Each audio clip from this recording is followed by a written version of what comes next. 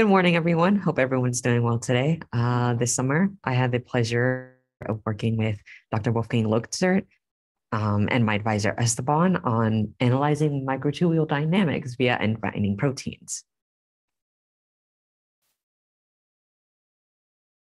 Before I begin on uh, discussing what my project was about, I'm going to give a little background on what microtubule microtubules are.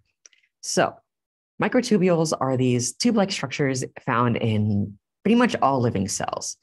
And they're often found uh, playing a pivotal role in the form the formation of the cell and giving it, it the cells its shape.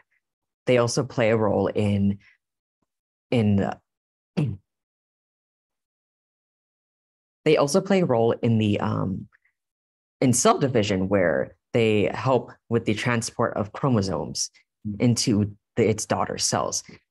And another little neat feature about microtubules is that they they they grow through periods of growth and shrinkage.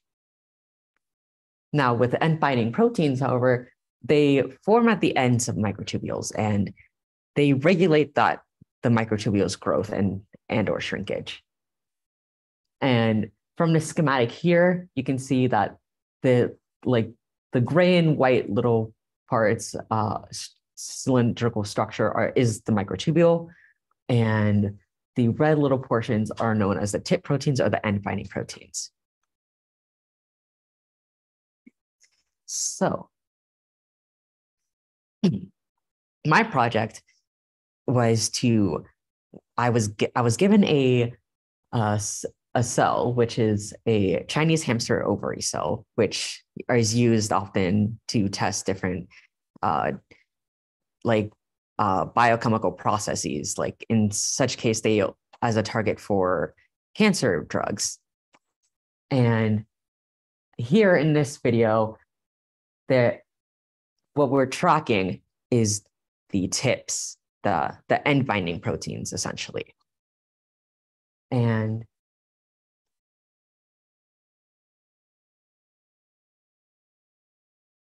okay, so how we did that was uh, we used a, a, Python package known as TrackPy, which is uh, uses a particle tracking algorithm to locate blob-like features in a video and and um and and track them over time. So again, I have the video playing here of the uh, cell that we used, and following that is where uh, we annotated the various tips in the in, in a frame. So those circles are marking essentially all the uh, all the uh, tracks. And what it does, it creates the next image, which is all the, essentially all the trajectories that are in in that given frame. And it each color re- represents a particle, a separate particle. And that final last image is a verification of the tracks. Okay, so one of the first things we wanted to analyze was the straightness of the track. And what we mean by straightness is its displacement, the the uh, the direction and the difference between the uh, final and its initial point divided by its path length, which is um, how the distance traveled. And the and the straightness can tell us how much force is being applied to the uh, tips, whether that be external or maybe internal. And I want to give an example of what, what I mean by straightness because their um, straightness is calculated on a scale between zero and one, where one is a perfect straight line.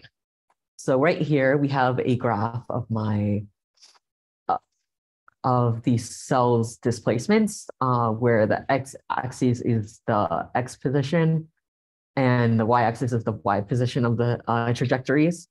And I have two specific uh, tracks highlighted.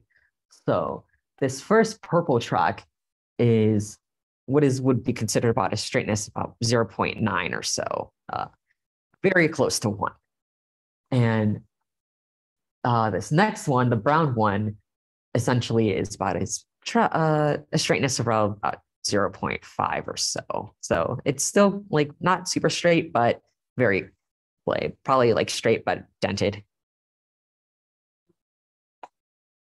So uh, what we did was we uh, took all the tracks, which is about about 1,200 tracks, and we created a distribution of the straightness.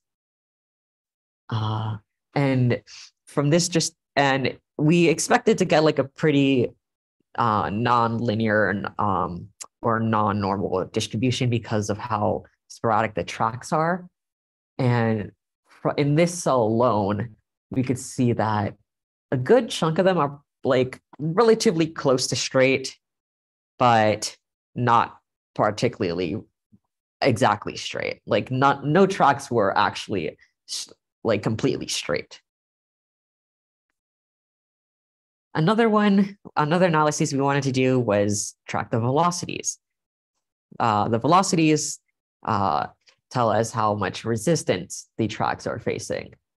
And uh, like a little bit, as you can see here, uh, like a less resistance, um, a less velocity would mean a higher resistance.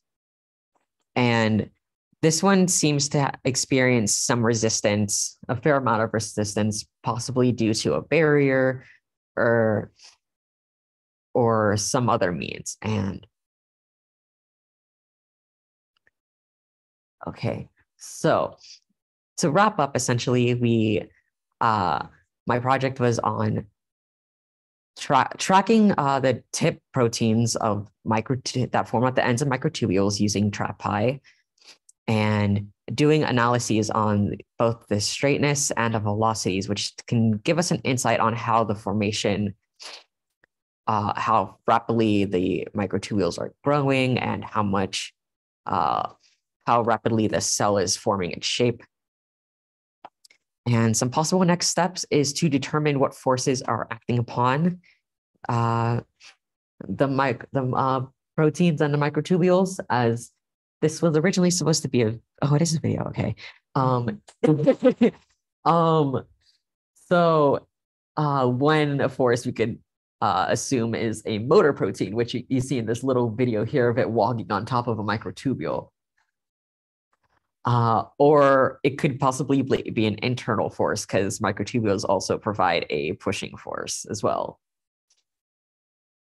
Uh, and uh, we uh, possibly we hope to do it with uh, the same pretty much analyses on um, more uh, cells. We had like a good chunk of cells, about uh, 15 cells, but we we had this uh, one that had the most analyses on it, and we hope to probably do maybe statistical analyses, like what kind of distributions we get from the histograms.